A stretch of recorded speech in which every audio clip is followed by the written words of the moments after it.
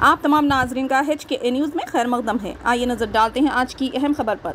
मासाब tank पर एक सड़क हादसा पेश आया। तफसलत के मुताबिक मासाब टैंक पर वाक़ मसरूफ़ तरीन सड़क पर दो बसों के तसादु में मोटरसाइकिल पर जा रहे एक नौजवान हादसे का शिकार हो गया।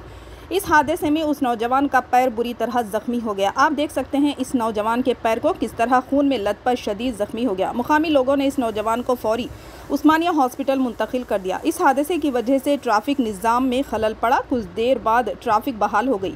नौजवानों से गुजारिश है कि गाड़ी चलाते वक्त एहतियात बरतें। आइए देखते हैं ये रिपोर्ट। चैनल को लाइक करें, शेयर करें और सब्सक्राइब करना ना भूलें।